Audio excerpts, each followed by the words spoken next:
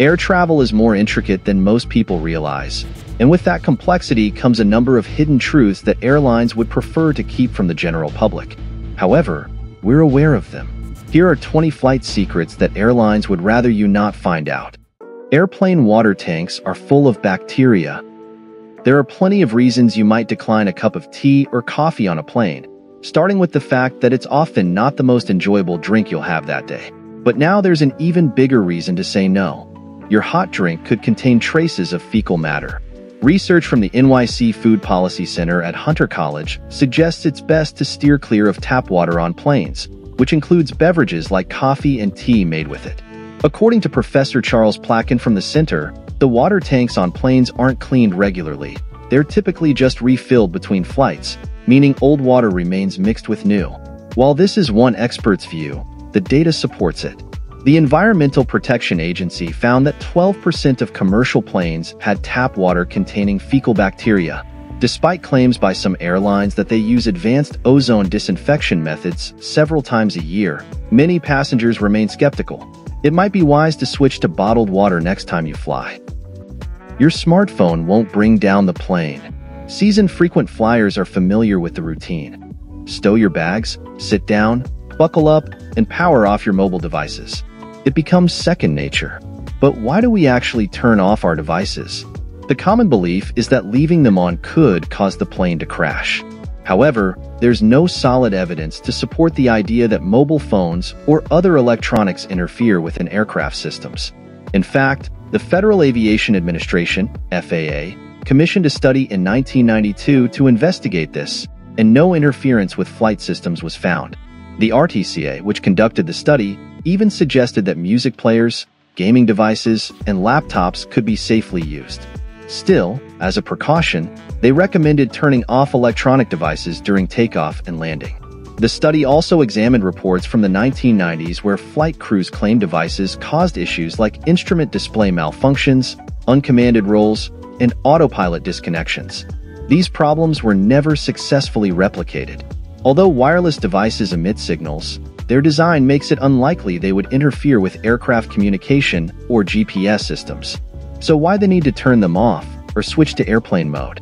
The main concern is potential interference with ground networks, which is enough for the Federal Communications Commission, FCC, and FAA to maintain the rule. Take swift action when your flight is canceled. There are many reasons your flight could be canceled, such as bad weather, staffing shortages, mechanical issues, or even overbooking. While missing your flight can be frustrating, it's crucial to stay calm and act quickly. If you think your flight may be canceled, try to get as close to the service desk as possible.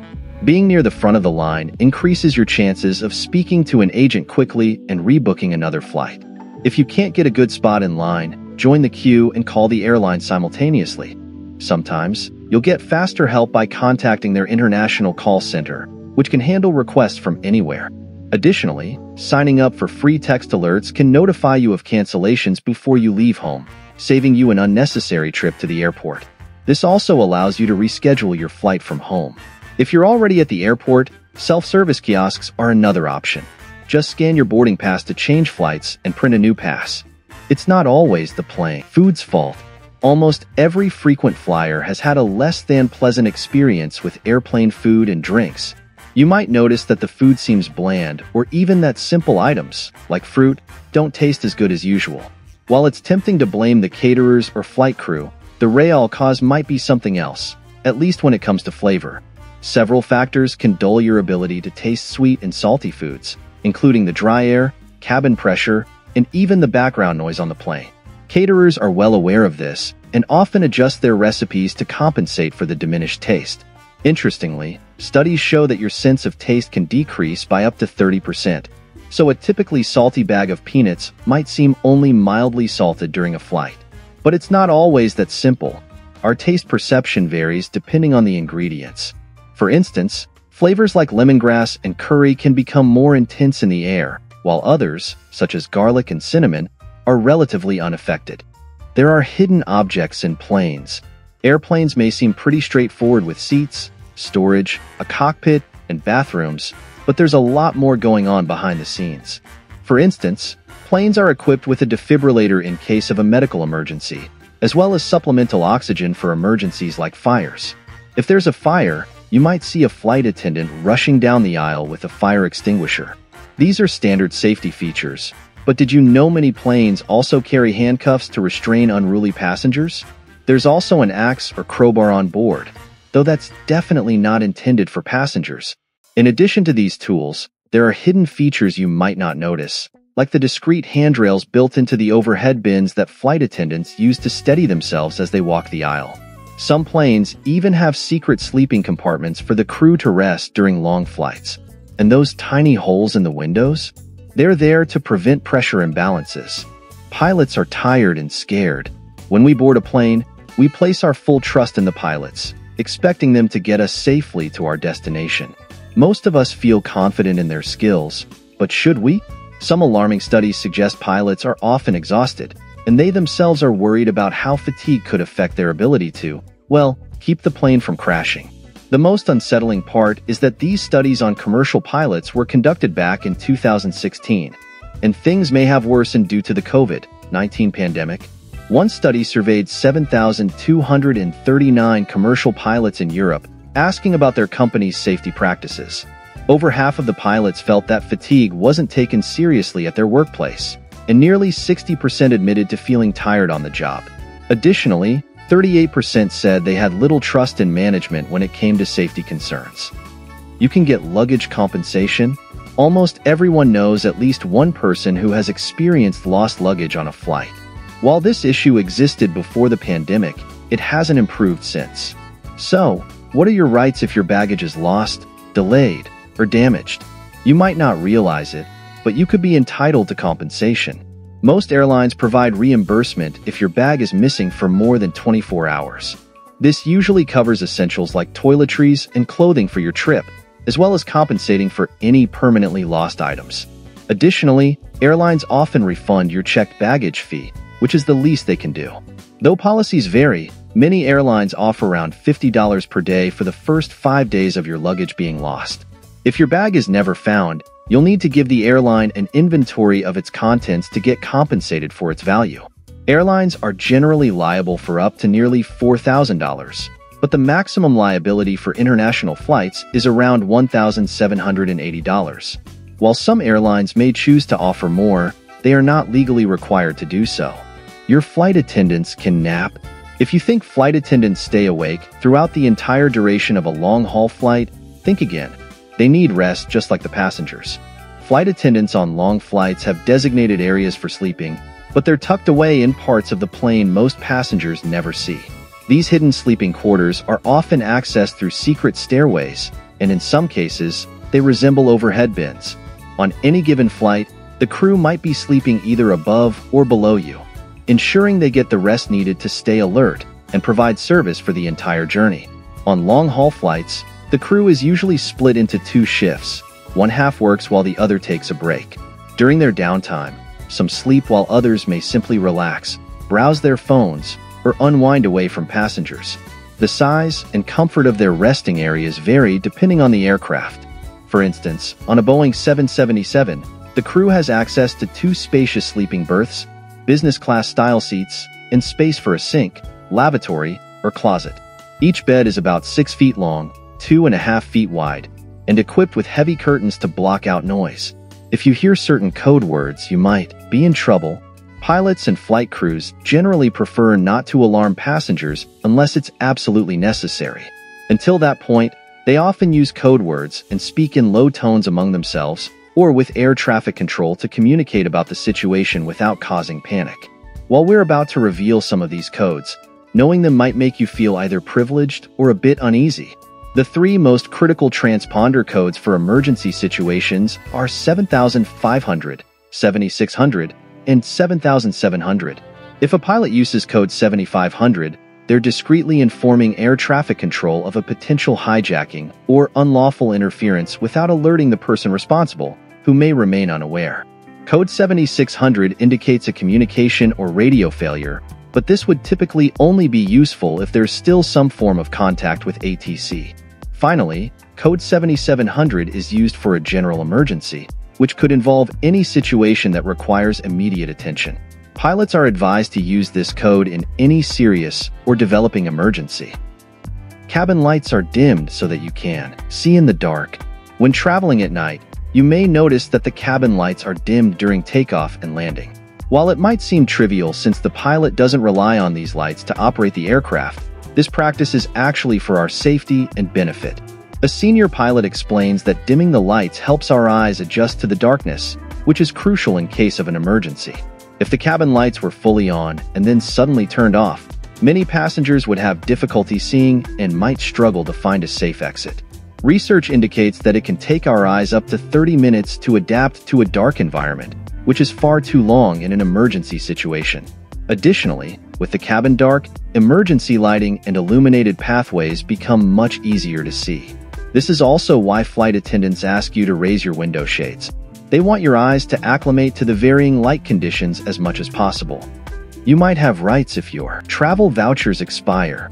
Houses travelers found themselves unable to take trips they had booked and paid for. Naturally, one would expect a cash refund, but despite being a federal law requirement, this wasn't always the case. Many airlines opted to issue travel vouchers, and those who canceled their flights on their own instead of waiting for the airline to do it were ineligible for cash refunds. Now, many individuals face the issue of their travel vouchers nearing expiration, with some having no immediate plans to travel. Luckily, extending your voucher may be as simple as calling the airline. Many carriers, like American Airlines, are often willing to provide extensions, while others may have already set longer expiration dates on their vouchers. If your vouchers have expired and the airline isn't cooperating, you might consider filing a complaint with the U.S. Department of Transportation. Pilots don't eat the airplane food. If you're a pilot and your co-pilot orders a tempting dish during a flight, you might be out of luck. Many airlines have a policy that prohibits pilots from eating the same meal. While this might seem unreasonable, it's a precautionary measure in case the food causes food poisoning. If both pilots were affected, it could jeopardize the safety of the flight. To mitigate this risk, it's a common practice for one pilot to select a meal from the business class menu while the other chooses from the first class menu. Although food poisoning incidents on planes are rare, they do occur. For instance, in 1984, about 120 passengers on a British Airways Concorde flight contracted salmonellosis, resulting in one fatality due to complications. The pilot, who didn't consume the same food, remained unaffected, but at that time, no specific rules regarding meal choices were established. A similar incident occurred in 1975 on a Japan Airlines flight, where around 143 passengers suffered food poisoning from bad eggs. However, the jet-lagged pilot who chose a different dinner option was fine. While there are no formal regulations from aviation authorities about meal selections, most pilots take care to choose different dishes from their co-pilots. More tickets could mean higher price. In many industries, Buying in bulk can often result in lower prices per item, but this isn't usually the case with airline tickets. You might find that tickets are advertised at a competitive rate when you're looking for just one or two, but that price can increase significantly when you're searching for, say, eight tickets for your family. This happens because there's a limited number of tickets available at each price point. For example, you might see a few tickets listed for $99, which could lead you to believe you can send your entire family on vacation for that price each. However, there may only be a small number of tickets at that price, and adding multiple tickets to your cart can push you into a higher price bracket. Fortunately, there are strategies to navigate this issue and potentially save some money. One option is to purchase tickets one at a time, although this may mean your travel group won't sit together. Alternatively, you could consider booking through a travel agency, which might be able to secure better deals than those available to you directly. You can still get a free upgrade, Free upgrades often seem like something out of a movie. You simply ask for one and it magically appears. Do you know anyone who has actually been upgraded to business or first class just by asking? It seems uncommon, but it is still possible to receive complimentary upgrades. The easiest way to secure an upgrade is, of course, to pay for it, but you might also be randomly selected for an upgrade if you are a valued frequent flyer or if you have high future potential with the airline. Additionally, if your flight has been canceled and the only available alternative flight has open seats in business class, you might be upgraded. Sometimes, a last-minute aircraft change can lead to upgrades, especially if the new plane has a smaller economy section but a larger business class. Lastly, Overbooking can also result in upgrades. If the economy class is fully booked, some passengers may be upgraded to business class to ensure that everyone can reach their destination. You can bring your own food. Packing for a trip can be quite stressful, especially when you need to follow TSA regulations. If you travel frequently, you're likely familiar with the 311 liquid rule, which states that you can bring liquids in containers no larger than 3.4 ounces, all fitting into a single quart-sized zip-top bag. However, this doesn't mean you have to forego bringing food with you. You can take food on board as long as it adheres to the liquid restrictions. This means you can pack a variety of solid food items, provided they aren't liquids that violate the 311 rule. If you're feeling hungry, there's no reason you can't include cookies, crackers, bread, dried fruit, sandwiches, and even meat, seafood, and eggs in your carry-on. Interestingly, live lobsters are also permitted, as long as they are in clear, sealed, and spill-proof containers. That said, not all foods are permitted. Canned items can be challenging to bring through security, and condiments like salsa, dips, and cream cheese must also comply with the liquid regulations. Sometimes, it might just be easier to enjoy the food served on the flight and save a nice meal for when you land. Some days are cheaper to fly than others. It's only natural to look for the best deals when planning a getaway. If you want to save a significant amount on flights, it might be a good idea to rethink which days you take off work for your family vacation. Generally speaking, Tuesday, Wednesday, and Saturday are some of the most affordable days to fly. If you're heading to Europe, weekdays are typically cheaper than weekends. Of course, the cost can vary depending on the airline and your specific routes, but there's no harm in experimenting with different travel dates to see how much you can save. USA Today analyzed flight prices and found that tickets from Boston to Las Vegas cost $500 on Friday and Sunday, while a Saturday or Wednesday flight was only $228. While it might seem convenient to travel at the end of the week for the weekend, the savings from shifting your plans could be substantial. After all, what's wrong with flying on a Wednesday? Plane surfaces have more germs than toilet seats. Most of us know that restrooms aren't typically the cleanest environments, regardless of how often they are cleaned. Bacteria and germs are always lurking in these spaces due to their nature. But did you know that the average surface on an airplane is even dirtier than toilet seats? If that doesn't make you want to slather on hand sanitizer after a flight, I'm not sure what will.